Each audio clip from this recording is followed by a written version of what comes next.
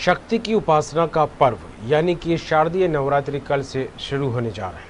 अश्विनी माह के प्रतिपदा तिथि से लेकर नवमी तिथि तक देवी के नौ अलग अलग स्वरूपों की पूजा आराधना की जाएगी। इन नौ दिनों के उत्सव में भक्ति देवी की आराधना करते हैं। वैसे तो साल में दो बार नवरात्र आते हैं, लेकिन शारदीय नवरात्र की विशेषता है कि घरों में कलश स्थापना के साथ पूजा पंडालों में भी स्थापित करके माँ भगवती की आराधना की जाती है।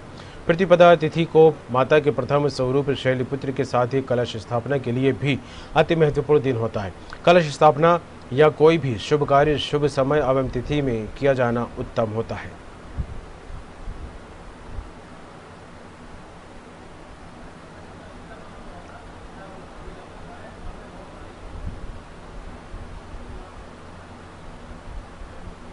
सबसे पहले अगर देखा जाए तो ब्रह्म मुहूर्त में घट स्थापना, अखंड ज्योति और साथ में आपका पाठ और जाप। जाप के लिए नवार्ण मंत्र का जाप आपको करना चाहिए। ओम ऐं ह्रीं क्लीं, चामुंडाई बिच्चे। दूसरा, आप पाठ अगर करते हैं तो दुर्गा सप्तती का पाठ आप प्रातः काल करें, आप एक नियम बना लें कि सुबह प्रातः काल आपको पाठ करना है।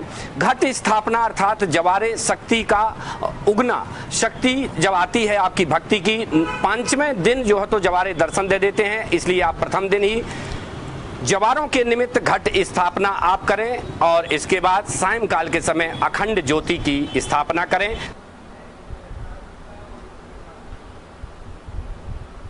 पन्ना में एक शख्स ने परंपरा